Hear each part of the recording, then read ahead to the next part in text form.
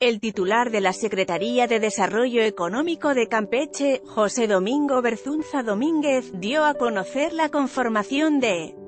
un padrón de empresas que podrán participar en las obras de infraestructura del Tren Maya, pues esperan que el presidente Andrés Manuel López Obrador mantenga su compromiso en beneficio de los propios habitantes donde correrá la vía férrea.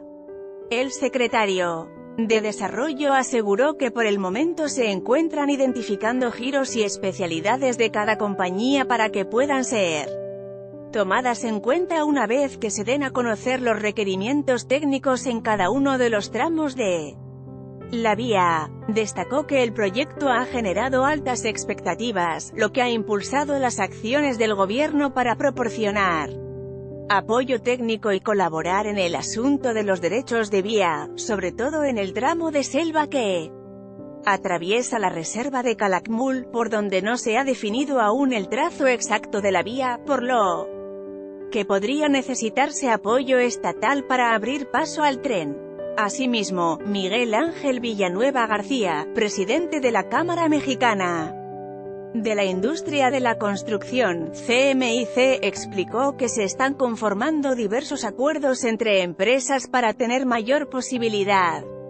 de ampliar la obra. La inversión del tren Maya va a ser muy grande, lo más seguro es que vengan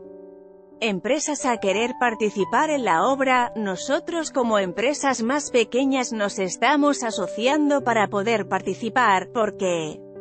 si queremos comernos el pastel solos, no vamos a poder. Destacó que si se cumple la promesa del presidente de la República sobre diversos beneficios para las empresas locales, hasta 25% de la totalidad de las obras podrían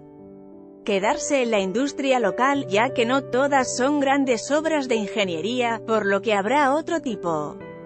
de obras menos especializadas para alumbrado, drenaje, electrificación entre otros, en las que podrán laborar técnicos locales. Por su parte,